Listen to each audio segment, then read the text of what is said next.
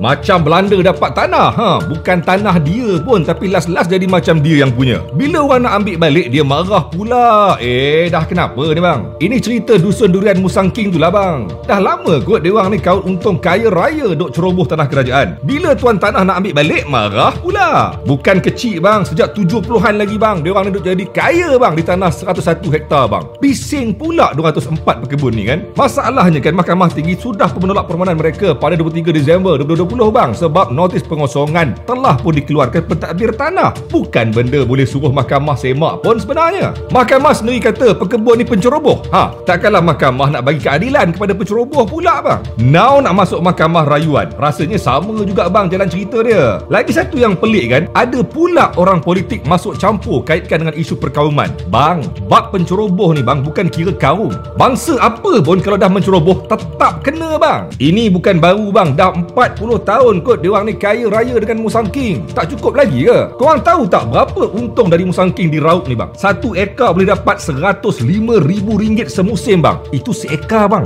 Kalau 100 ekar, bang dia orang ni dah pakai 101 hektar bang. Kira-kira 250 ekar bang. So, setiap musim boleh dapat 26.25 juta ringgit. Ha, kaya tak Pak Karim? Sebab tu kot ada YB yang sanggup merentas negeri nak fight isu ni. YB, kerajaan kata YB boleh rentas negeri negeri untuk tengok kebajikan kawasan sendiri tau. Bukan duk sibuk kawasan orang. Agak-agak lah kan.